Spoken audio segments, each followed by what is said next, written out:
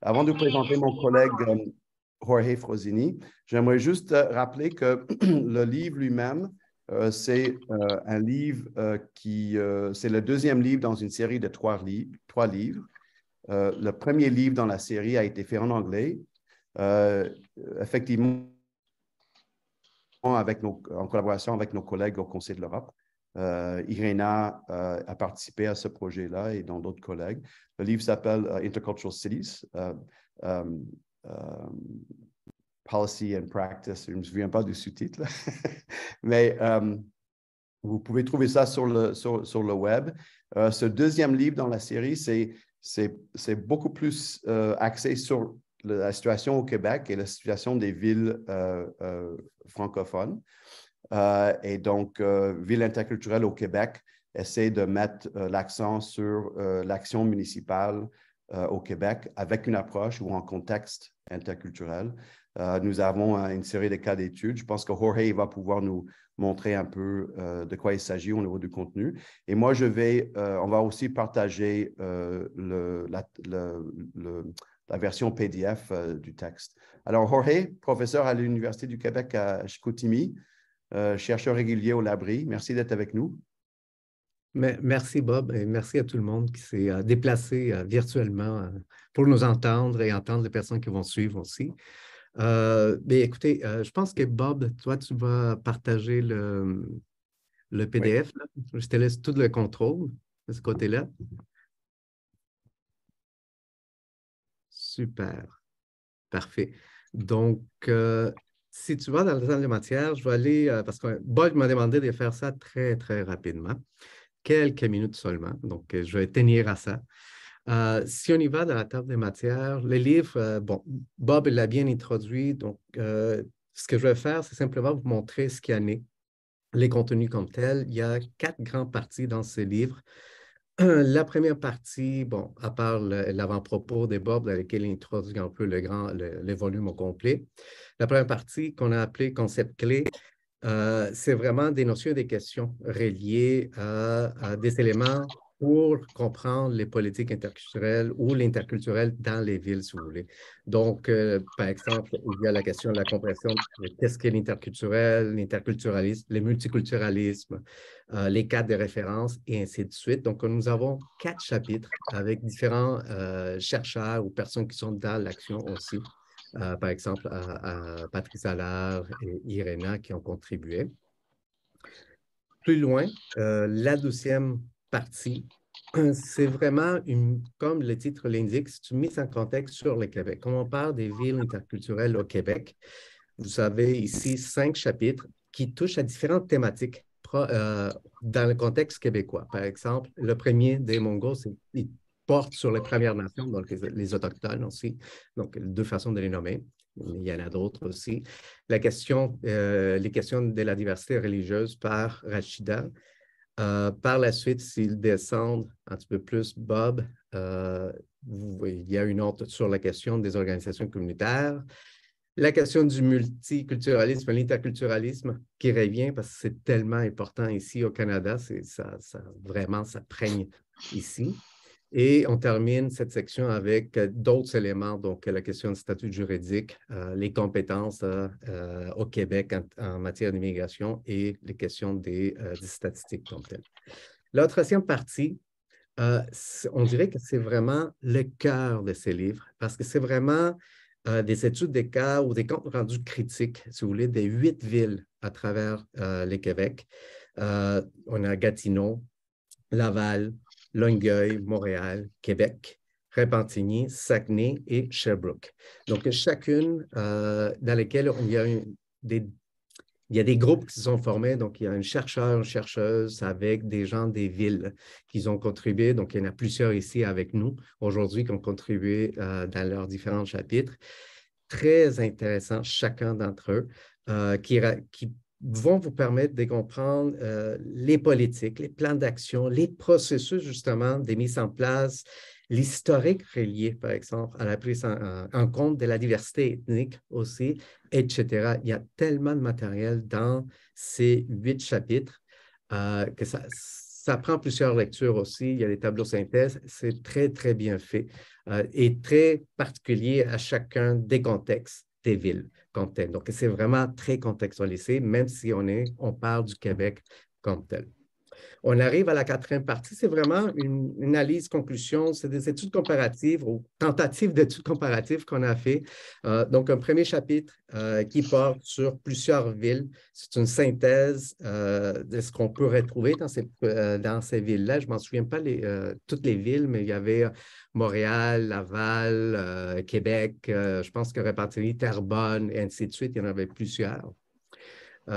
et par la suite, le dernier chapitre euh, coécrit avec euh, Jean-Charles, c'est vraiment une synthèse critique, critique, ce que nous retrouvons au cœur du livre, c'est-à-dire dans la, deuxième, euh, la troisième partie du livre, avec des éléments qu'on retrouve ailleurs. Donc, c'est vraiment, vraiment une synthèse critique de la troisième partie et des propositions. Et on finit le livre, ça il faut le mentionner aussi, avec des propositions, des recommandations qu'on a formulées pour les villes comme telles. Donc voilà, ça fait un peu les tours du livre. Voilà. J'ai tenu en cinq minutes. Wow, fantastique. Euh, donc, ça me donne une minute pour juste faire quelques, euh, euh, quelques commentaires généraux sur, le, sur tout ce processus-là. les collègues qui ont contribué des, textes ou des analyses, ils savent que ça a été brutalement éternel comme processus. Ça a pris beaucoup de temps. Euh, ce n'est pas uniquement à cause de la pandémie, euh, c'est aussi parce que euh, c'est un collectif, c'est un ouvrage collectif. Il y a environ une, ben, il y a une trentaine de, de, de, personnes qui ont contribué à la, rédaction et puis à la, à la correction. Donc, c'est un très grand travail de coordination euh, on, a eu, on est passé par plusieurs maisons d'édition pour, avoir la, pour choisir la, bonne. Et puis, d'ailleurs, j'aimerais remercier les collègues de, de, l'Université du Québec à Montréal, les presses de l'Université du Québec à, Montréal. Euh, en fait, les presses de l'Université du Québec, notamment mon collègue, notre collègue Alain Gagnon, qui a, nous a aidé à, faire partie de cette série Politéa, qui est euh, axé sur l'analyse des politiques publiques euh, euh, un peu partout dans le monde. on a une très belle expérience avec cette maison d'édition. et parmi d'autres éléments, je voulais mentionner que vous avez accès à tout, en fait, on a, on a, les presses ont accepté de donner un accès libre au livre en format PDF. Et donc, dans le chat, si je suis capable de faire ça, je vais euh, vous envoyer le lien directement. Euh, ce lien vous amène à, donc, à, à, la page web sur notre site web euh, du Labri qui explique un peu le contexte de la production du livre, qui donne aussi le lien direct à, au, à la maison d'édition. Et donc, euh, euh, vous allez pouvoir télécharger à partir de cette page euh, la version PDF du livre. C'est en accès libre, donc c'est gratuit. Et on espère que vous allez le télécharger et le diffuser et le partager. et donc, on vous encourage à, chaque fois, si vous décidez de, de, partager le lien ou le, le, livre, on vous demande de, partager le lien de, la maison d'édition. Euh, parce que c'est la bonne version du document en téléchargement, mais aussi parce que euh, c'est mieux au niveau euh, du référencement si les téléchargements se font à partir directement du site des PUC. Donc, je ne sais pas s'il y a d'autres questions. moi, je propose peut-être de passer directement à, pour rester dans le temps, passer directement à notre table ronde. Euh, nous avons euh, proposé à, quatre personnes euh, qui ont contribué de proche et de loin sur ce livre. il y a donc, on a fait un panel mixte, c'est un panel mixte, pas en termes ethniques ou racial, mais en termes plutôt de, culture professionnelle.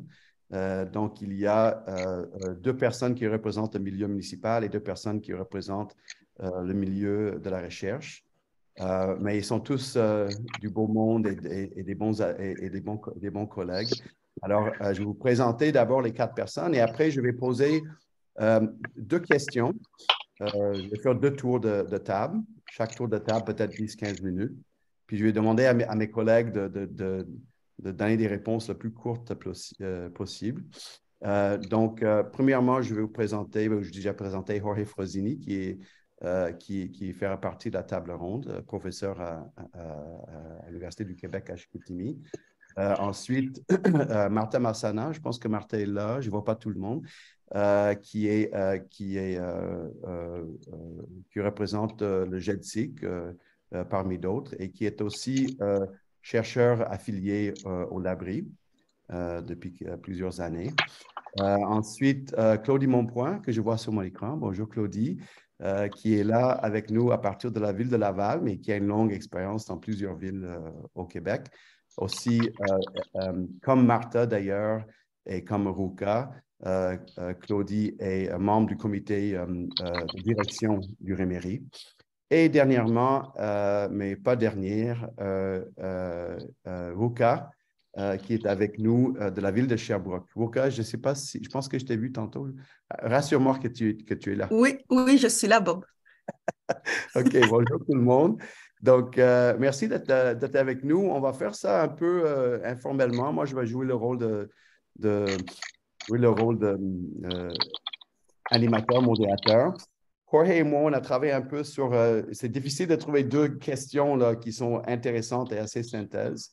Euh, la première question qu'on a, qu'on a choisie, c'est de réfléchir un peu euh, ensemble sur euh, ces approches interculturelles, mettons les politiques culturelles et l'inclusion à une échelle plus large. On sait que les politiques interculturelles, ce n'est pas juste là pour, pour faire une, bonne une bonne vitrine ou pour donner bonne image. Les politiques interculturelles s'insèrent dans une dans une vision interculturelle qui est très, très développée au Québec et surtout euh, à l'échelle municipale. Euh, et donc, la, première question que je voulais vous poser, les quatre membres de notre table ronde, euh, comment est-ce qu'on peut expliquer de quelle façon que ces politiques interculturelles dans les villes contribuent à l'inclusion des personnes issues de l'immigration? Quel est le rapport donc entre les politiques interculturelles et l'inclusion en contexte interculturel? Puis on va commencer par Jorge. Hmm, est-ce que tu veux lancer un peu la discussion? Et vraiment deux minutes, deux, trois minutes. Je sais que tu es très concis, toi. Je vais essayer encore.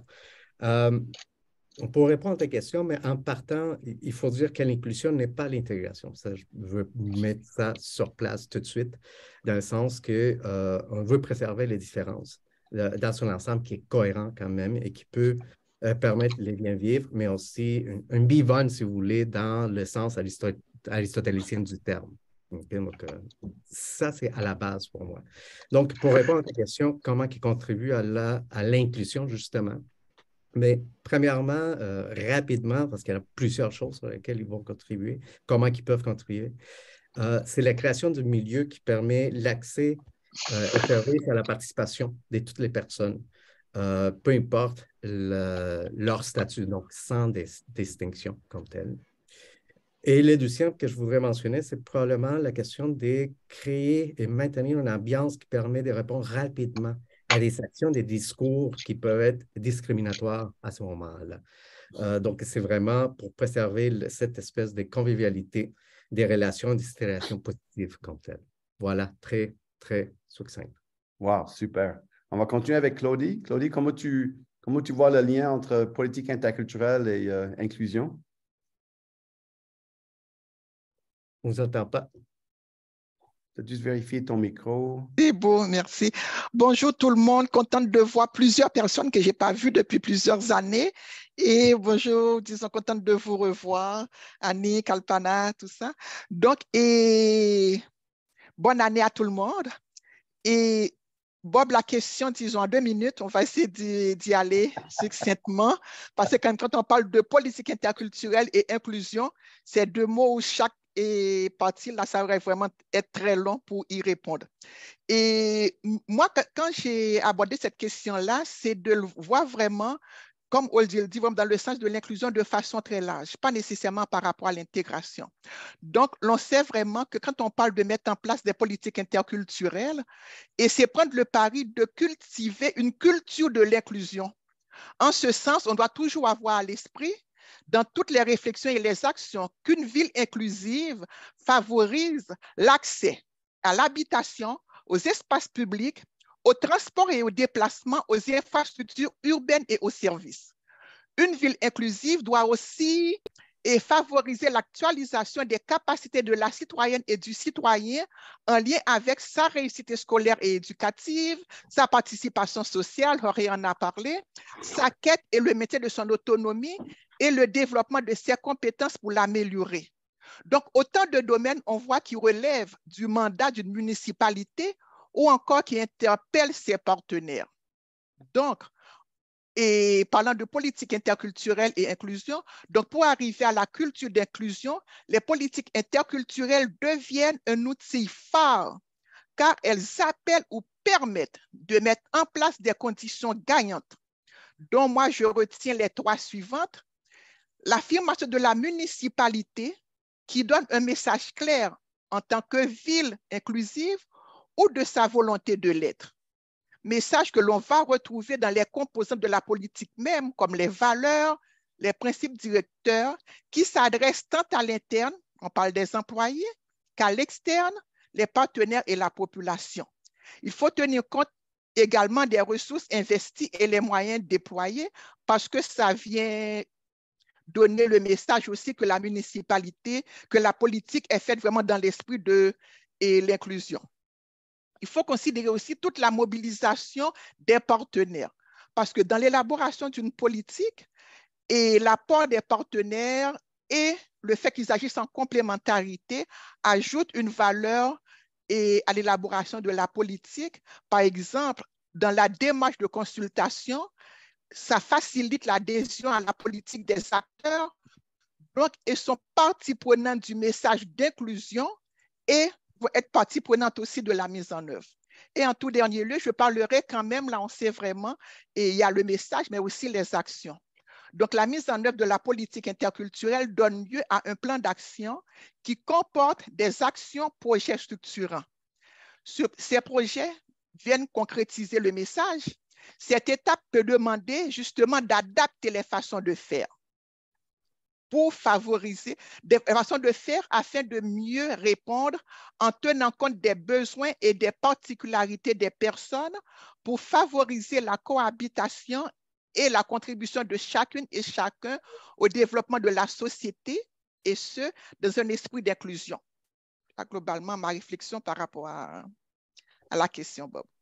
Merci, Claudie, de placer ces morceaux. On va continuer avec Martha, Martha Massana. Oui, bon, en effet, euh, pour, euh, j'ai choisi plutôt euh, comme deux angles par lesquels les politiques interculturelles peuvent, à mon avis, contribuer à l'inclusion. D'un côté, en y réfléchissant, je mettais de l'avant toutes les stratégies pour lutter contre les inégalités, la pauvreté et la vulnérabilité sociale. Et pourquoi je dis ça d'un côté Parce que si on tient compte des trois ou quatre grands piliers des politiques, des politiques ou des actions interculturelles, bien sûr, la lutte aux inégalités, à la pauvreté y est comprise. Puis, c'est pas anodin quand on pense aux liens qui existent inversement proportionnels entre les inégalités et la cohésion sociale on sait bien que moins d'inégalité, moins d'inéquité et moins d'injustice, plus la cohésion sociale est forte et de ce fait, euh, plus une société est capable de partager des valeurs ou des projets communs. Et un autre aspect euh, qui me semble intéressant ou qui me semble important et à, travers lequel euh, les politiques interculturelles peuvent contribuer à l'inclusion, c'est euh, misant sur l'accès et la possibilité à apprendre le français et, de le faire en favorisant les espaces de rencontre et d'échange euh, pour créer des liens vraiment significatifs et durables. Euh, et de montrer comment la participation au réseau de la société d'accueil augmente d'un côté le capital social, culturel ou et même économique des personnes nouvellement arrivées, mais aussi comme des effets ce, maillage ou cette rencontre, cette création d'espaces, de, liens significatifs augmente le degré d'ouverture de la société d'accueil. Donc, pour moi, ce sont des piliers incontournables de l'action interculturelle, autant de l'État que des villes. Merci, Martha. Euh, Ruka, est-ce qu'on te donne le dernier, euh, dernier moment du, du tour de, de, table, politique interculturelle et inclusion? Comment tu vois ça? Oui, euh, du côté municipal, en fait, moi, je, vais aller peut-être de manière plus... Ah, vous, vous, allez comprendre quand je vais l'expliquer. Je me dis déjà à la base de mettre en place une politique, une politique claire, concise, euh, ça envoie un message à la population. On parle d'être humain, on parle d'interculturalité. L'interculturalité, l'interaction entre différentes cultures, comme disait Jorge tout à l'heure. On ne parle pas d'intégration, on parle d'interculturalité où des cultures s'influencent positivement. Donc, qu'une ville mette en place, parce que ce n'est pas toutes les villes qui le font aussi, de mettre en place une politique interculturelle, pour moi, déjà là, ça lance un, message de on, veut être inclusif, on veut être accueillant, on veut être euh, ouvert mais une politique, encore une fois, comme je dis, qui est claire, qui est concise et dont la, population, tous les acteurs, toutes les actrices connaissent les tenants et les aboutissants, s'en sont appropriés. On sait que d'une politique découle des actions, un plan d'action. Je suis vraiment plus, moi, sur l'idée du terrain, l'idée du concret, que la population, parce qu'une politique, ça rédige, hein. on le sait, ça oriente, ça guide, mais on a besoin de choses concrètes sur le territoire dont monsieur et madame, tout le monde vont se dire, oui, notre ville a mis en place une telle politique et on sait que c'est de telles politiques que découlent ces actions, ces plans d'action sur l'inclusion. Et je suis d'accord avec Martha sur le côté, tout ce qui est vulnérable aussi, qu'on n'y pense peut-être pas nécessairement quand on parle d'interculturalité. Donc, c'est vraiment sur ces éléments-là que moi, je suis allée sur le côté importance déjà à la base, au tout début, de mettre ça en place et de mettre ça en place, mais ensuite de s'assurer que la population, les partenaires sont au courant de c'est quoi cette politique, quels sont les tenants et les aboutissants, s'en sont appropriés pour pouvoir après, par la suite, euh, mettre ça en action sur le terrain. Donc, si je peux résumer, c'est vraiment euh, comme ça que moi je le vois. Écoute, vous êtes génial comme table ronde parce qu'on arrive, il nous reste une minute et on est en avance, OK? Donc, je, vais voler une minute à vous pour vous remercier pour vos réponses à, la première question. Euh, je souligne non seulement le genre de euh, équilibre et puis euh, capacité de naviguer que vous avez démontré entre le théorique et le, et le pratique. C'est super important et c'est ça un peu la, raison d'être de ce projet euh, à la base. Mais c'est aussi l'approche critique que vous avez dit. On n'est on est plus là pour parler de l'intégration. On est, on, est, on est rendu ailleurs. On est rendu plus loin, surtout au Québec. Je pense que c'est une des spécificités de, de, du travail interculturel qui se fait ici.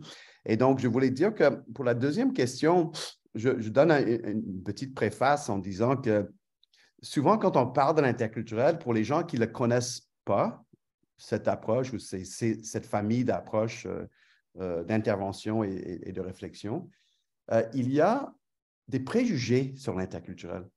Et un des premiers préjugés, c'est Oh, l'interculturel, c'est l'eau de rose. Oh, c'est licorne. Oh, tout est bon. On va juste tout régler, tous les problèmes, si on se met à parler entre nous. Mais vos réponses aux questions, ça démontre clairement qu'on n'est pas dans cette logique-là de licorne et de, et, nuages. On est dans euh, une analyse critique des problèmes systémiques et euh, euh, on est conscient du fait que l'interculturel ne peut pas fonctionner s'il n'y a pas première prise de conscience des problèmes euh, de discrimination systémique et, des inégalités.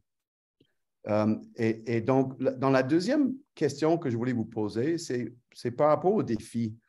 Euh, on ne peut pas juste dire les bons coups, on peut juste parler des bonnes pratiques et dire que l'interculturel règle tout. Il ne règle pas tout. C'est une, une, démarche parmi d'autres, c'est une approche parmi d'autres. Et maintenant, quand vous regardez un peu le, côté difficile ou le côté un peu euh, où, les, aspects où ça ne marche pas. Je ne veux pas terminer avec un, mot négatif, là, mais il faut être capable de dire les choses. Quels sont, selon vous, les défis euh, qui sont à, relever? Quels sont les défis euh, ou les obstacles devant nous pour la promotion de, des approches interculturelles ou, ou, des politiques interculturelles? Encore une fois, on va commencer avec Jorge. Qu'est-ce que tu as identifié comme défis de l'interculturel au Québec? Merci, Bob. écoute, j'ai rélu le livre pour, pour essayer de voir. Pour, une, pour une troisième fois? Pour une troisième fois? Ça pour une troisième fois. Mais c'est bon de relire les tout comme, comme il faut quand il est, publié déjà. Et ce qui m'est paru, on l'avait mentionné dans le, dernier chapitre avec Jean-Charles, c'est vraiment, on, axe beaucoup sur la question de la redéfinition des rapports entre les membres des collectivités, de la collectivité aux différentes collectivités qui sont là. Mais il y a tellement de défis qui sont mentionnés dans les différents chapitres des villes et ailleurs dans d'autres chapitres. C'est très difficile de les choisir. Ai, ben, tu t'as demandé deux, donc il fallait choisir à ce moment-là. Un, c'est vraiment la question de la consolidation de l'action politique interculturelle. Je reprends un des termes que euh, David utilise dans son chapitre aussi, et qui me mène à parler justement de l'adhésion euh, de l'organisation, euh, c'est-à-dire des employés à l'intérieur des villes, à cette vision aux politiques, la transversalité des, politiques à ce moment-là. Donc, tout ça, pour moi, c'est lié, c'est un grand ensemble pour moi. Donc, un des gros défis des villes.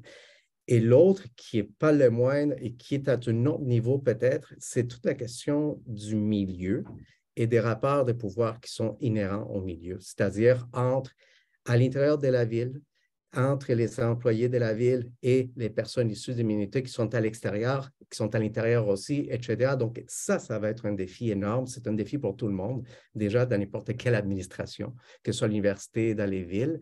Mais étant donné que les contextes changent, ces rapports de pouvoir vont changer, même si, euh, au moins au Québec, on, on part d'un groupe majoritaire qui détient tous les pouvoirs symboliques, si vous voulez. Euh, donc, je vais m'arrêter là, mais c'est les deux grands ensembles que j'ai identifiés. Merci. Euh, Claudie, comment tu vois, quels sont les défis? Ils sont nombreux? Les défis sont nombreux. Moi. Les acquis sont nombreux, mais les défis aussi sont très présents. C'est sûr, vraiment, on pourrait faire une liste. Et moi, j'en ai nommé quelques-uns, mais c'est sûr que pour moi, je vais nommer l'aspect de l'intégration socio-économique.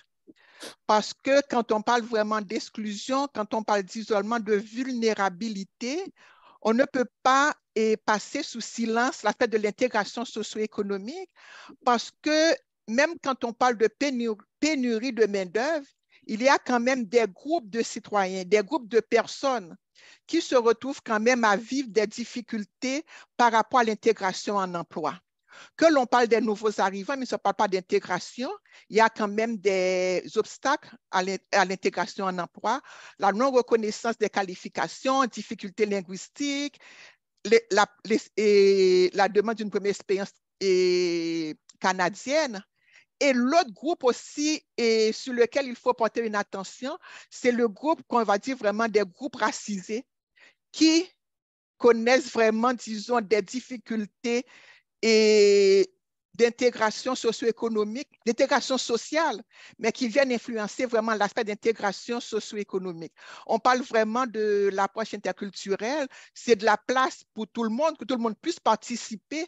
Malheureusement, il y a des gens, à cause d'un regard discriminatoire, n'arrivent pas encore à participer pleinement à la société. Donc ça, c'est un défi et on voit quand même que le contexte, le débat est encore très présent. Quelle place on fait à certains groupes? Et l'autre aspect en tant que ville, en tant que municipalité, je vais le nommer, oui, et là vraiment, on parle vraiment que c'est le défi de la ville que, que l'approche, que la politique interculturelle mise en place traverse l'ensemble des services, mais ça vient demander quand même, disons, une disponibilité des ressources et en termes vraiment de gouvernement de proximité, on sait que ce sont les municipalités qui sont directement interpellées pour répondre aux besoins premiers des populations. Donc, pour les municipalités aussi, il y a quand même toute une réflexion, tout un défi qui est là par rapport aux disponibilités de ressources pour pouvoir travailler, disons, cet aspect d'inclusion et répondre aux, besoins des différents groupes et de clientèle. Merci, Claudie. Ruka, terminer ce tour de table, qu'est-ce que tu vois comme défi? Insurmontable? Insurmontable, ça peut l'être. Ben, ça va être de longue haleine, on va dire. De longue haleine. Mhm. Oui, vraiment. Euh, moi, ce que je vois encore une fois sur le terrain, c'est plus des défis internes à l'organisation municipale et externes aussi dans la population, donc dans la communauté, comme on dit. Euh, la première chose, c'est quand on doit, en tant que ville, avec certaines compétences municipales et quand on parle d'humain, encore une fois, toute la population sur le territoire, la ville est là, les services municipaux sont là pour desservir, servir euh, cette population-là. Mais quand on sait que nos champs de compétences ont une certaine limite, par exemple, je prends l'éducation ou la santé, sur lesquels la ville n'a pas nécessairement, je vais utiliser un terme un peu fort, de, de, de même mise, c'est un peu plus compliqué. Mais en même temps, on veut inclure toutes nos, personnes, nos familles issues de l'immigration qui sont dans les écoles. Mais quand c'est compliqué de travailler avec les centres de services scolaires, il y a certains enjeux qui se placent là. Donc, le système de santé, la même chose avec euh, notre, euh, notre CHU de l'Estrius, qui est, c'est pas si évident, disons, des fois quand la collaboration n'est pas là, mais qu'en même temps, tu as des êtres humains qui sont présents sur le territoire et, et que tu veux inclure euh, de la communauté. Fait ça, c'est l'un des défis qu'on travaille encore et encore. Puis même avant que j'arrive à la ville, ça existait. Puis je pense que ça va continuer à exister malheureusement. C'est là le côté longue haleine et long terme qu'il faut travailler dessus. Euh, le deuxième, qui est plus à l'interne de la ville, est le côté transversalité. Souvent, vous le savez tous, on a un service qui est euh, qui est, comment je dirais, porteur du dossier de l'immigration ou de l'interculturalité, ou même on va aller plus loin de la DI, euh, diversité, équité, inclusion. Sauf que souvent, ce service-là est comme un service qui est un silo parmi les autres services. Cette transversalité-là, ce n'est pas nécessairement que les autres services la voient. C'est toujours délicat d'aller chercher les autres services qui sont... Euh, qui ont des compétences des fois assez carrées, puis qui ne voient pas nécessairement cette transversalité-là, cette interculturalité-là, de dire, mais c'est à vous de faire ça, c'est votre dossier. Oui, mais encore une fois, on parle d'humains, vous desservez des humains. Y a-t-il moyen qu'on travaille ensemble pour que ça soit euh, de manière transversale? Donc, je le vois à l'interne et à l'externe, euh, les défis, c'est des défis qui sont, est-ce qu'ils sont insurmontables? Est-ce que je le saurai un jour, tant que je travaille à la ville? On verra bien. Mais euh, pour le moment, c'est vraiment ces deux défis-là que je vois malheureusement. Super, merci Ruka. Un grand merci à nos euh, panélistes là, pour euh, ce tour rapide des questions immenses et euh, pas faciles qu'on vous a lancées comme, comme questions de discussion. Je pense que les questions soulignent ben, non seulement l'importance d'avoir plusieurs points de vue, pas uniquement du point de vue de la recherche, mais aussi du point de vue des acteurs du milieu, mais aussi euh, peut-être on, soulève euh, quelques aspects qui seraient euh, spécifiques au contexte québécois. Donc, ça me permet de, c'est une bonne transition pour tourner vers ma collègue et, très bonne amie Irena Gidikova, qui est avec nous de Strasbourg. Irena, merci. je sais que c'est la fin de la journée avec le petit décalage avec le, ben, avec le fuseau horaire. Euh, à Strasbourg. Euh, et donc, euh, j'étais très, très content que tu aies accepté l'invitation, non seulement parce que tu fais partie de, de, cette, de ce parcours, de l'aventure des villes interculturelles au Québec. Pour ceux qui ne savent pas ou qui ne connaissent pas Irena, elle est vraiment la personne qui est à, la création du programme Cité interculturelle du Conseil de l'Europe. Elle, n'est plus à la direction du programme du Cité interculturel parce qu'elle travaille dans une autre section du Conseil de l'Europe maintenant, mais elle a contribué à nos, recherches et à nos réflexions depuis euh, euh, environ dix ans maintenant. Et pour ceux qui se souviennent, Irena faisait partie de la première délégation du Conseil de l'Europe qui est arrivée à Montréal pour négocier le statut de Montréal comme ville interculturelle. Et donc, elle était là. Moi, j'ai vu sa conférence avant qu'elle me connaisse. et on est toujours euh, impressionné par son analyse et par sa, ses, capacités d'expliquer les enjeux complexes dans des termes très, très euh, euh, clairs et, et, percutants. Donc, Irina, merci d'être avec nous. Je voulais te demander si tu peux nous dire quelques mots très brièvement sur le, ben, D'abord, euh, si tu peux nous dire quelques mots sur les réseaux des villes interculturelles, parce que nos collègues du Réméry sont contents que tu es là. Et puis, de nous parler un peu du Rémery vis-à-vis d'autres réseaux de villes interculturelles, mais aussi si tu peux nous parler, dire quelques mots sur ce que tu vois comme spécificité de, de, l'interculturel au Québec, parce que tu, tu nous as beaucoup accompagnés à travers les années et le processus. Et je pense que ton point de vue de l'extérieur, ça nous permet de mieux comprendre en quoi on est unique ou en quoi on était bizarre ou en quoi on fait bien ou, moins bien les choses. Merci beaucoup, Bob. Merci beaucoup, les amis, de m'avoir permis de faire partie de la famille interculturelle encore. Et encore, je, j'ai effectivement quitté ce job, mais je ne peux jamais le quitter dans mon cœur. Donc, je, me, je suis toujours contente d'être avec vous.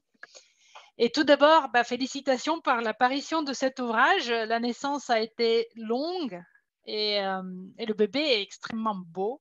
Euh, j'ai beaucoup appris en lisant cet ouvrage. Même si je travaillais euh, dans ce domaine pendant 14 ans, j'ai quand même beaucoup, beaucoup appris. Donc, du coup, vous m'avez fait beaucoup de révélations. Une des révélations, d'ailleurs, était, et là, je vais, je vais peut-être répondre en partie à ta question en quoi vous êtes spéciaux, parce que vous êtes spéciaux dans mes yeux. Euh, une des révélations que j'ai lues dans le chapitre sur Gatineau, c'était que le ressort de l'interculturalisme interculturalisme en tant que mouvement plus ou moins organisé euh, au Québec était le résultat d'une initiative des villes accueillantes. Oups, je suis désolée, mais ma lampe s'est éteinte. Euh, qui a été lancée par le ministère de Citoyenneté et d'Immigration en 2008. Et je me suis dit, tiens, c'est vraiment intéressant qu'au Québec, le mouvement interculturel, quelque part, a été créé par un ministère, quelque chose qu'en Europe, euh, c'est difficilement concevable. Euh, et je pense que ce fait d'avoir des institutions politiques au plus haut niveau qui sont sensibles non seulement au discours, au concept, mais même à l'action interculturelle et qui aident aux villes euh, à se développer, à se positionner, à apprendre, euh, c'est quelque chose d'extrêmement important, je trouve, et quelque chose qui aide beaucoup. Parce que ce, qui, ce que ça apporte, c'est que c'est une question de justice universelle. Il n'est pas juste que de vivre dans une ville inclusive ou non, c'est une question de hasard. Parce qu'on on est arrivé à Montréal ou on est né au Montréal et donc du coup on, se retrouve dans une ville inclusive, mais si on est dans une autre ville, euh, non. Donc la, question, euh, l'action politique régionale ou nationale pour impulser ce développement politique pour tous est importante, je trouve. Et la deuxième chose, euh, et donc d'ailleurs, euh, vous, vous nous, avez inspiré un peu, parce que maintenant, au Conseil de l'Europe, on est en train de développer un, document normatif, un instrument normatif euh, qui demande à tous les pays membres du Conseil de l'Europe, les 46 pays membres, de mettre en place des politiques interculturelles au niveau national et qui s'adressent euh, aussi aux villes. Je pense que votre deuxième spécialité que j'apprécie énormément, et là c'est vraiment un, une fleur à Bob, mais à tous ces, euh, ces super chercheurs de, de l'abri, c'est le fait que vous avez ce, ce, laboratoire de recherche qui aide les praticiens à, comprendre leur action, à se poser des questions critiques, à se voir en miroir, à communiquer avec des autres, hein, à, se, chercher tout le temps d'aller plus loin dans les, indicateurs, dans, l'analyse d'impact, de se poser, de sortir de, des sentiers battus et de, la boîte quelque part. Et c'est un luxe que d'autres, les autres réseaux et les autres villes euh, du réseau site interculturel n'ont pas. Euh, parce que bah, voilà, je ne sais pas comment ça s'est vraiment euh, situé et, passé, mais le fait d'avoir euh, le, labri euh, avec vous, avec les villes, est, quelque chose qui est, à mon avis, indispensable et vraiment euh, qui est une grande richesse. Bon, maintenant, pour le réseau des villes interculturelles, il y a plus que 150 villes dans le monde entier maintenant, surtout en Europe. c'est un réseau qui s'est mis pour but de créer un mouvement, un grand mouvement politique, mais aussi une communauté de, praticiens, des gens qui, qui croient, qui croient que l'interculturalisme est, sinon la réponse, au moins une des réponses à notre monde de diversité, et qui croient qu'ensemble, ils peuvent, ils peuvent trouver les solutions, ils peuvent trouver les, les actions politiques à mettre en place, les outils et les façons de mobiliser les gens, parce que ça commence évidemment, ça commence comme un réseau de professionnels, mais il faut que ça croisse, il faut que ça devienne vraiment un, réseau de citoyens aussi. Il y, a des, il y a des chercheurs, il y a des, des, experts, il y a des ONG, il y a des responsables politiques dans ce réseau et il est très multiple hein, selon les pays. Il y a des pays, par exemple en Italie, euh, où les membres de réseau sont surtout des responsables politiques élus, tandis que dans d'autres pays, c'est beaucoup plus varié. C'est les, gens du terrain, c'est les acteurs de tous les jours, des politiques de tous les jours. Et le Conseil de l'Europe sert quelque part d'un facilitateur, d'impulseur, de, de spider dans ce web, dans ce, dans ce net, pour créer les liens entre les gens. Et si tu me permets, Bob, je voulais juste dire un truc euh, en écoutant la table ronde qui était très intéressante. Merci. Je me suis souvenu qu'une des grandes questions que je me pose toujours à propos de l'interculturel, c'est est-ce que c'est vraiment quelque chose qui marche pour tout le monde euh, ou uniquement quelque chose qui attire les gens des classes moyennes, des, beaux quartiers, euh, là où la diversité est vécue comme comme une expérience positive parce que ça s'approche au voyage, euh, ça s'approche à la, gastronomie diverse, parce que c'est les échanges euh, intellectuels, interculturels. Comment est-ce que tous les gens dans les villes, aussi les, les, quartiers plus démunis ou les gens qui ont moyen de ressources, comment ils bénéficient de l'interculturalisme? Et en lisant le livre et tous les exemples hein, dedans, euh, je me suis rendu compte que c'est en effet le cas, parce que l'interculturalisme minimise les conflits, et ce sont les, quartiers les moins aisés qui sont généralement les plus exposés aux conflits. Dans le domaine de l'éducation, par exemple, l'interculturalisme se traduit par des approches plus souples et plus centrées sur chaque élève, et pas des approches qui sont un peu euh, standards et qui facilitent la vie surtout aux bons élèves l'interculturalisme a fait en sorte que même les élèves qui décrochent ou les élèves qui n'ont pas vraiment le background, le bagage euh, intellectuel et culturel de leur famille, qui puissent aussi réussir.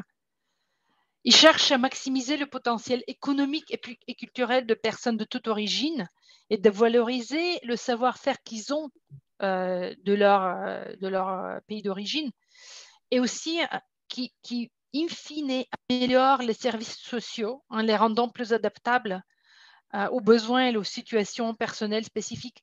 Donc, pour tout ça, je pense que l'interculturalisme est fondamentalement un mouvement politique de, de, modernisation politique urbaine euh, qui bénéficie à tout le monde. Et évidemment, il y a beaucoup de choses qui ne marchent pas. Euh, tu sais, Bob, juste pour finir, tu sais qu'on a ensemble, on a travaillé beaucoup sur les relations entre l'interculturalisme et le, les mouvements antiracisme un peu extrêmes, un peu confrontationnels. Et je pense que de créer les, les, bonnes relations de coopération entre ces types de mouvements ensemble, c'est un des grands défis qu'on doit, doit, affronter encore et encore. Euh, parce que l'inclusion est quelque chose qui ne se, qui passe pas par la confrontation, mais qui passe par l'écoute et par le respect. Voilà, c'est tout. Irina. Merci pour ces bons mots-là. Euh, si tu dois partir, euh, sens-toi à l'aise, mais si tu peux rester, ça serait bien. On va ouvrir un peu pour la discussion avec les participantes et participants. Euh, j'ai fait l'erreur de ne pas donner deuxième tour de parole à Martha. Martha, est-ce que tu aimerais rajouter un petit mot sur les défis je m'excuse d'abord. Non, non, mais ben, en tout cas, je vais, je vais le faire juste. Euh, j'avais ciblé exactement un petit peu ce qui a été dit, euh, puis je trouve très juste aussi ce que Irena vient de dire, notamment euh, ce que j'appelle aussi comme la complément. On doit se mettre dans une approche de complémentarité. Ouais, dans une optique de complémentarité entre les différentes approches qui existent, si le but final, c'est le vivre ensemble et l'inclusion. Fait que, que ce soit, et c'est ça, c'est euh, l'un des grands défis. Et l'autre, euh, bien sûr, euh, il est aussi, et vous, je ne veux pas que ce soit mal compris ce que je veux dire, mais il y a une variabilité, il y a une grande variabilité quant à l'historique et des interventions structurées en matière d'immigration, des relations interculturelles dans les villes au Québec. Le Québec en étant en, plus de Montréal et la région métropolitaine. Puis aussi euh, un, un, intérêt ou euh, une, euh, une, une, prise, une prise en considération de ces enjeux très variables selon les administrations municipales. Puis les, c'est ça, selon les administrations municipales. Donc, à ce niveau aussi, je pense qu'il y a du travail à faire. Heureusement que nos amis fonctionnaires sont là pour assurer la continuité. Ouais. Donc, euh, euh, en parlant de nos amis fonctionnaires, je voulais juste voir si mon ami Patrice Allard est, est, toujours avec nous. Patrice, je voulais voir si tu peux juste dire un petit mot. Toi, tu, tu, étais là non seulement euh, depuis le début du Réméry, parce que tu es cofondateur du Réméry, mais aussi euh, euh, très actif depuis le début avec le rôle de Montréal comme ville interculturelle. tu, es, étais très discret là, mais tu, tu, figures dans les deux volumes du livre. Donc, je voulais savoir si tu auras un petit mot de sagesse à nous dire, parce que toi aussi, tu nous as accompagné depuis le début du projet. Euh, ben, C'était pas prévu, là, mais bon, bonjour tout le monde, premièrement, et puis euh, ben, bravo à tous pour avoir contribué à, ce beau, à ce beau projet. Euh, ben, c'est sûr que les villes, comme je le dis dans le chapitre, ont un rôle essentiel à jouer parce qu'on a beaucoup de leviers qu'on peut utiliser, même dans nos compétences traditionnelles. On a, on a un actif je trouve qu'on peut utiliser, qu'on parle de bibliothèque ou euh, d'activités de sport, de loisirs, ou même d'aménagement, d'urbanisme, donc euh, d'emploi, euh, de, donneurs d'ouvrages aussi. Donc, on, a vraiment des leviers très, très importants pour favoriser l'inclusion et, la diversité.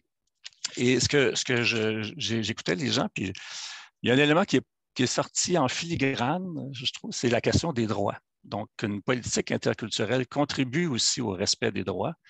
Et ça, à la Ville de Montréal, bon, on s'est donné une, charte des droits et responsabilités, justement, où euh, la Ville s'engage à ce que la municipalité ne soit, exempte euh, de, profilage, de discrimination, euh, parle de lutte à la pauvreté, parle d'inclusion aussi. Donc, cet aspect-là de respect des droits de la personne et des respects fondamentaux, des, des, droits fondamentaux, ça fait partie, à mon avis, aussi d'une politique interculturelle, où ça y contribue, à tout le moins où la politique contribue au respect des droits. Donc, ça, c'est un élément quand même important. Et ça rejoint un petit peu euh, ce que je trouve que ce que tu as amené, Irina, de, justice, que la justice ne doit pas être faite au hasard, ne, doit pas être euh, vécue au, hasard de, la ville où on se trouve. Et ça amène toute la question de la place du gouvernement, justement, dans ces politiques interculturelles-là. Donc, oui, les villes ont un rôle à jouer, mais il y a un message plus général qui doit être porté à un niveau supérieur aussi, à mon avis. Et euh, ben, on sait que le Québec ne s'est pas doté d'une politique interculturelle. On souhaiterait qu'il le fasse, qu'on puisse reconnaître justement qu'il y a des inégalités, qu'il y a de la discrimination, qu'il y a du racisme systémique, et puis qu'on, de, de, de faire de cette reconnaissance-là, qu'on puisse agir euh, pour doter l'ensemble de l'État d'une politique interculturelle, puis de combattre les discriminations, puis favoriser le respect des droits de, chacun à cet égard.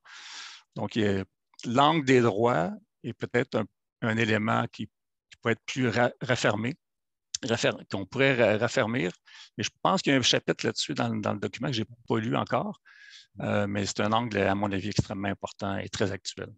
Merci, Patrice. Et puis merci aussi euh, de, d'avoir été avec nous pendant tout, le long de ce processus-là. Je suis content de te, revoir euh, ce matin.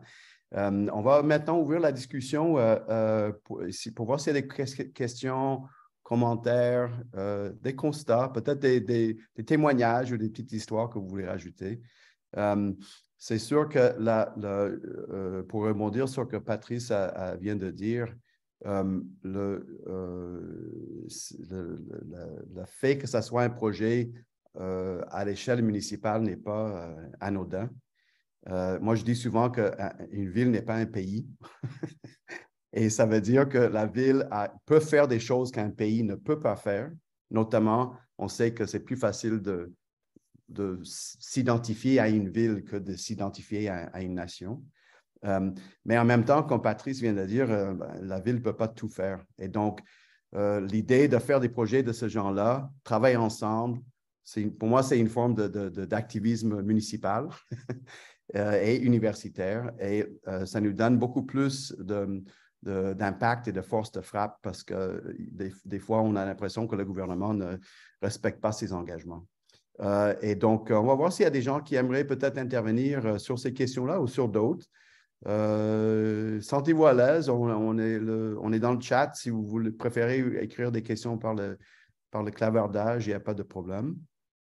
Est-ce qu'il y a d'autres personnes? Est-ce qu'il y a des, des, réactions à tout ça? On est allé un peu vite, on s'excuse. Et on ne voulait pas non plus prendre trop de temps.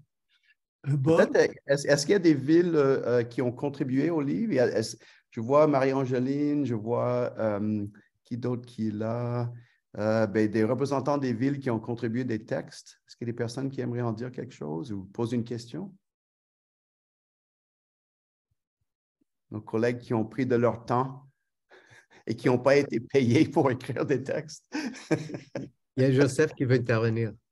Ah, Joseph, vas-y. J'aurais une question. Tu as dit, certes, la ville n'est pas un pays, mais est-ce que le, niveau du quartier, euh, des quartiers interculturels, comment est-il euh, soulevé euh, dans cette perspective? Parce que je ben, crois qu'il y a aussi un niveau, un problème d'échelle qui, qui, peut être intéressant à considérer. On n'a pas beaucoup abordé, euh, euh, Jorge, peut-être tu peux me corriger, mais je pense qu'on n'a pas beaucoup abordé directement l'échelle du quartier ou même de l'arrondissement. Euh, juste un chapitre avec lequel on en parle. Oui, c'est ça. Mais je dirais, c'est important. Je dirais que c'est la logique de, toute cette série de livres, c'est de donner un peu la parole aux personnes qui, qui développent et puis qui font, qui, font la mise en, œuvre de ces politiques municipales, justement pour, pour qu'on en parle plus. Donc, chaque étude de cas que vous allez voir, c'est comme un univers en soi, une sorte de parcours municipal à travers l'évolution des politiques et programmes dans ce contexte-là. Alors, dans certains cas, il y a mention des spécificités des arrondissements. Et il y a, par exemple, à Montréal, des arrondissements qui ont leur politique, le cadre de référence. Mais euh, effectivement, euh, euh, est-ce que les villes sont en mesure de faire des politiques à partir de ce qu'ils savent sur ce qui se passe au niveau des milieux de vie? Euh, ce n'est pas toujours évident, ce n'est pas toujours le cas. Guy, est-ce que tu aimerais dire, rebondir sur cette question-là? Très justement, Bob. Écoute, pour moi, ça m'apparaît. Guy, on a un problème d'écho. Excuse-moi, on a un problème d'écho. Vérifie ton. OK, j'ai. C'est bon? OK, bien. Excuse-moi. Moi, en fait, euh, juste pour te mentionner, ce que pour moi, je pense qu'un des éléments, donc on n'a pas fait mention ce matin, mais qui est peu présent dans le livre, c'est, euh, mais qui est très présent sur euh, le terrain, la pratique, c'est celui justement des milieux de proximité. Et dans les milieux de proximité, mais ben, je veux dire, Joseph a fait mention des quartiers, mais il y a surtout, surtout, surtout la communauté. Et dans ce sens-là, je pense que le mouvement interculturel, euh, il faut voir que dès le point de départ, euh, l'intracommunautaire, l'intercommunautaire est venu à partir, mettons, des milieux de vie et ces milieux de vie-là, c'est des milieux communautaires qui finalement jouent encore leur rôle. Et ben, je dirais peut-être que dans les structures municipales, n'ont pas toujours leur présence, mais qui de plus en plus euh, se mobilisent et doivent finalement interagir. En d'autres termes, Irina tantôt a dit, bon, mais c'est bien que la préoccupation interculturelle provienne d'un ministère. C'est rarement le cas. Et c'est souvent euh, davantage un mouvement ascendant qu'un mouvement descendant. Et pourquoi? Parce que les problèmes sont vécus au niveau du terrain et sont souvent euh, associés à ce que j'appellerais une prise en charge par le milieu, qui finalement développe une solidarité communautaire en lien évidemment avec les ressources des municipalités. Mais euh, sérieusement, la problématique interculturelle est une problématique qui émane du milieu, euh, je dirais, du terrain, du milieu communautaire. Et bon, c'est ce que j'ai essayé d'exprimer le plus possible dans le chapitre pour lequel je fais une petite euh, euh, publicité, le chéquier. Voilà, vas-y, vas-y, on fait la pub, on fait la pub. Mais non, je voulais dire à la base, Guy, c'est important parce que dans, notre, dans nos recherches, on insiste toujours et souvent euh, sur la distinction entre euh, l'interculturel comme réalité sociale et l'interculturel comme politique publique. Euh, c'est-à-dire, il y a des interactions dans nos, villes diversifiées, il y a des interactions, il y a des, centaines de milliers d'interactions interculturelles à, tous les jours. cette réalité interculturelle n'est pas la même chose que l'approche ou la méthode qu'on va prendre pour essayer de, euh, d'améliorer les relations. Donc, euh, il y a l'interculturel, il y a l'interculturalité. Ce n'est pas pareil. Et à la base, ça vient de, de, nos, de, nos, contacts dans la vie de tous les jours. Euh, d'autres commentaires, questions? Je vois Kalpana, bonjour. Oui, en parlant de personnes qui nous ont accompagnés à travers le, parcours. Kalpana, merci d'être avec nous, ex-directrice de l'Institut interculturel de Montréal. Euh, vérifie ton micro aussi, Kalpana.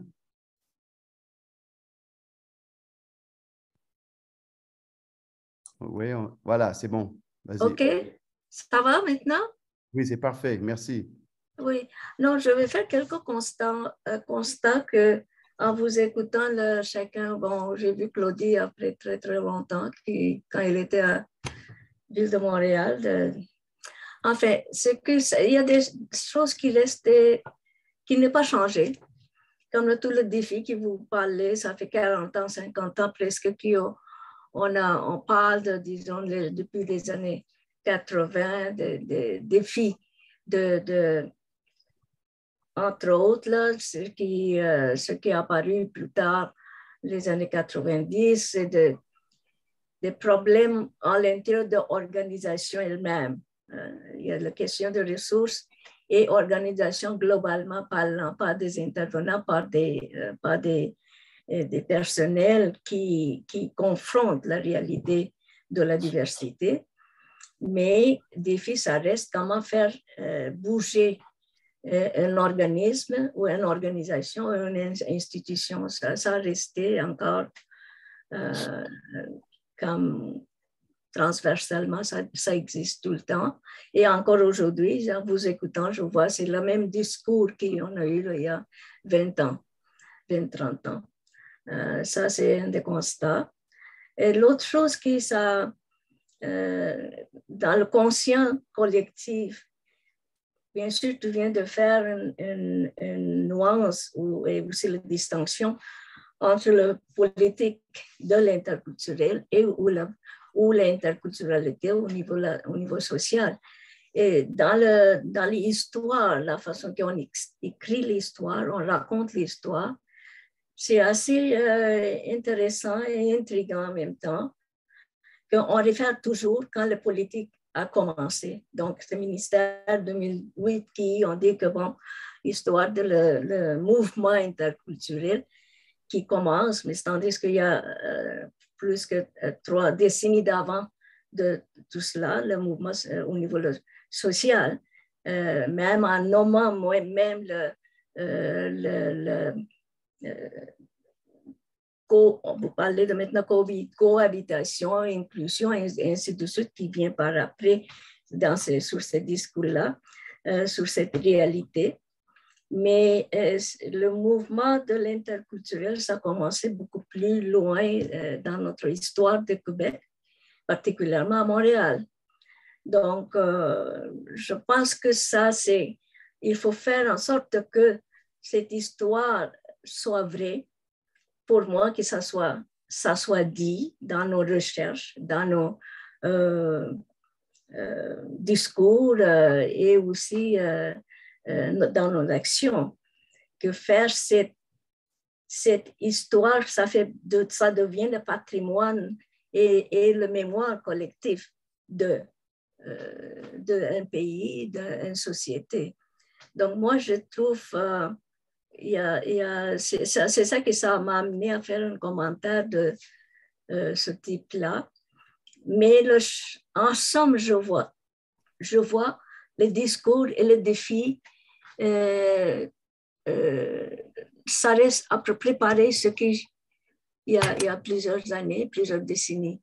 Donc, quand on parle au niveau social, j'ai apprécié le commentaire de Guy, euh, c'est au niveau du milieu de vie qui est interculturel que ça se passe. Euh, mais la politique, c'est parfois ça devient un, genre de, de, euh, comment je dis, l'obstruction à ça, des fois, de, qui peut, qui peut mettre la population dans l'adversarialité de quelconque. Euh, et puis, pour moi, ça peut être facilitant et ça peut être quelque chose qui, qui est euh, obstructif au niveau de ce processus euh, plus organique, des fois que ça se passe dans le milieu de vie. Et les gens prennent, des, initiatives qu'on ignore, on ne connaît pas. Il y en a des choses qui se passent. Donc, pour moi, je pense que ça, en écrivant même une, euh, euh, recherche où entre le formel et informel, cette tension qui existe, euh, on a vu toujours au, niveau Québec le milieu communautaire versus le milieu politique, il y avait toujours une tension et collaboration, mais il y a une tension qui reste. Et cette tension, c'est un enjeu extrêmement important à saisir, comment mettre un, dialogue plus euh, fécond euh, pour écrire la mémoire collective? Moi, je pense que euh, c'est une dimension que je pense que je, je, voulais un peu vous apporter là, C'est très apprécié. Puis c'est une mise en garde très importante, non seulement de savoir que certaines choses évoluent et d'autres stagnent pendant des années et des décennies, euh, dans certains cas, on peut avoir des problèmes aussi qui s'empirent. Et donc, c'est comme une sorte d'appel à la vigilance, de s'assurer qu'il y a un dialogue entre les pratiques et les politiques. Aussi, de s'assurer que, euh, euh, que les interventions qui sont conçues et mises en, marche par les, décideurs, que c'est des interventions qui, qui, qui s'insèrent dans une approche critique, systémique et une vision de long terme. Euh, donc, merci de ramener cette longue durée, cette vision de longue durée dans la discussion. Euh, moi, j'aurais aimé peut-être euh, clôturer l'activité pour ne pas prendre trop de votre temps. Je sais qu'on est tous en train de, de, reprendre le travail tranquillement et donc il faut y aller doucement. il, va, il, va, y avoir d'autres activités prévues autour de ce, de ce livre. Euh, je vous rappelle, euh, un peu plus haut dans le chat, vous avez le lien directement pour aller, euh, pour aller procurer une copie du livre en, version PDF numérique. Je, le renvoie ici. je dirais aussi de, rappeler l'importance d'aller télécharger la version PDF par le site web des PUC qui est dans le lien sur la page de notre site web. J'ai oublié de le mentionner aussi que si vous souhaitez avoir une version euh, euh, papier du livre, c'est possible aussi. Euh, c'est beaucoup moins cher que le premier livre dans la série des livres. je pense que c'est une vingtaine de dollars ou 30 dollars peut-être. Et donc, à partir de, la site des PUC, vous allez pouvoir juste faire une commande et ça, sera fait directement par, la maison d'édition. Je voulais euh, aussi euh, mentionner qu'il y a des collègues au Rémurie avec qui on est en train de voir la possibilité de faire une série d'ateliers pratiques euh, à, partir des, acquis ou des, leçons apprises dans le livre. Donc, justement, cette semaine, on va faire une, réunion pour voir quelle, forme que ça pourrait prendre. On aimerait inviter des, acteurs du milieu surtout à l'échelle municipale, peut-être même quelques élus euh, pour travailler là-dessus en, termes beaucoup plus pratiques. puis je, profite de l'occasion de, remercier non, seulement les collègues des PUC, dont Julien et Alain, Gagnon, mais aussi de remercier mes coéditeurs, mon coéditeur, Jorge Frosini et euh, Jean-Charles, qui nous a beaucoup aidé avec la, fin du, processus. Euh, mais aussi et surtout toutes ces personnes-là qui ont pris de leur temps pour euh, documenter le savoir et de l'expertise interculturelle. Il y a dans ce livre-là, c'est une mine d'or par rapport à ce que le Québec a fait, ce qu'on a fait au Québec et par rapport à ce qu'on sait faire au Québec. Je pense que c'est important de mettre l'accent là-dessus. On a fait ça ensemble. C'était, long, c'était, complexe, mais on peut tous, euh, tout le monde, on peut être extrêmement fiers de ce qu'on a fait. Et j'espère que vous allez pouvoir euh, partager ça dans vos milieux respectifs. Euh, pour moi, c'est, c'est une réussite et ça fait rayonner pas seulement nos recherches et nos villes, mais aussi cette petite belle province qui est le Québec. Donc, euh, je propose de, se laisser là-dessus. Jorge, est-ce que tu avais d'autres choses à rajouter? Euh, non, tu as tout dit, mais c'est vraiment réitéré. Euh, merci beaucoup à, toutes les personnes qui ont contribué dans le livre, tous les auteurs, autrices comme tels, des villes, les chercheurs aussi. Il y en a plusieurs ici qui sont avec nous, qui ont contribué avec des, chapitres. Donc, vraiment, merci à tous ces mondes-là, parce que sinon, on n'aurait jamais eu ces, livres comme tels. Ouais. Alors, bonne année à tout le monde bonne année et, et, bonne, euh, bonne année interculturelle, le plus que possible. Merci beaucoup. Bonne année. Bonne année à tout le monde. bientôt.